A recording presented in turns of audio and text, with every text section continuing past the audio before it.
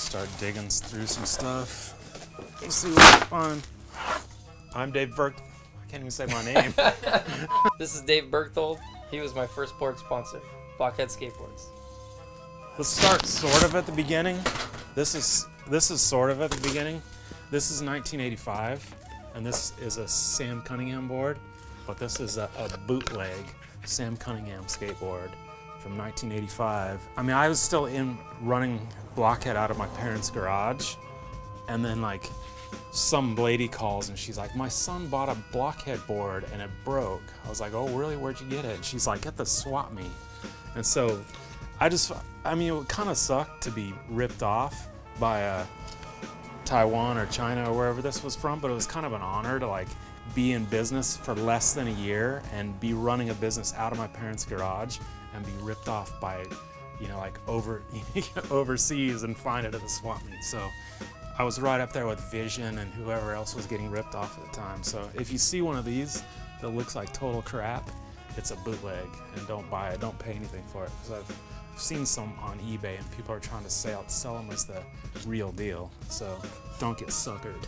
All right, this is the this is the legendary uh, Good Sam board. Yeah, we, this is I think this is the only board I ever got a cease and desist for. The Good Sam Club is really like a recreational vehicle club, super old school, and we just like changed the face from another board graphic. Sam Cunningham was, I don't know, back then he was super into snakes, and uh, so every graphic, every Sam Cunningham graphic had snakes on it somewhere, and uh, that was that was the guy. What do we got? This is a this is a hard times board, and this is the first one, and this was our price point board, and uh, I don't know. I think Blockhead was probably the first company to ever make a price point board cool, where people, where kids wanted it. It wasn't just like the board that they bought because their dad said you can only get that one. It's 35 bucks. We actually made it where kids wanted to have it just because it was it was rad. So I, I know this one is a, this is one, this one's from the old Blockhead house, and there's a there's a going sticker, so that leads leads me to believe this was either uh, Zach Groves or uh, Rick Howard's personal setup, because both those guys were on Going. So not sure not sure whose it was, but one of those two guys. Set these off somewhere.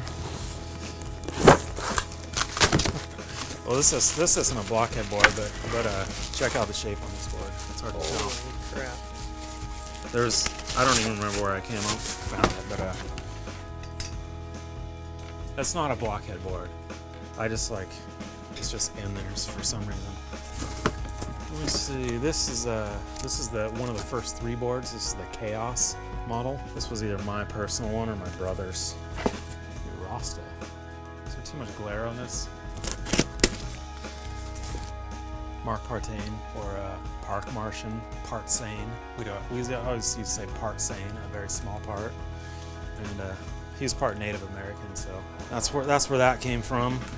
So here's the here's the actual blockhead version of the rip-off one. This is the real one, but actually this was I kind of ripped it off because it was just some like clip art thing that I'd modified. I did the graphics for the first year of Blockhead, and then ran into this kid named Ron Cameron, and he skated for Blockhead, and he was like the just the Gumby jump ramp kid and street plant kid. He was made of rubber and he could do the most contorted airs.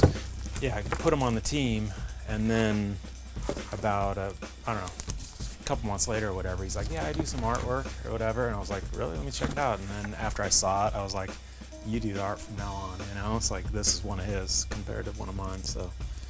So then he was Ron Cameron was the guy who was came, you know, what kind of what Blockhead was known as, or the style of it that defined Blockhead. That was Ron.